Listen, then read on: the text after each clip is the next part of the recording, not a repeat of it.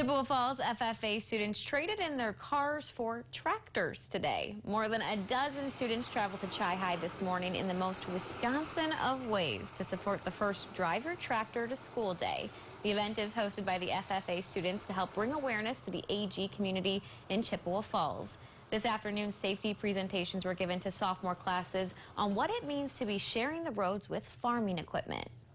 I've been seeing this on other platforms and stuff of other schools parading in and having a nice driver tractor school there, whatever, and we kind of wanted to do it here at Chi-Hi. And we're hoping to have the sophomore classes come out and we'll do a little presentation on safety stuff and make sure road safety, anything like that, because they're getting their license and we want to make sure that it's they're safe on the roads.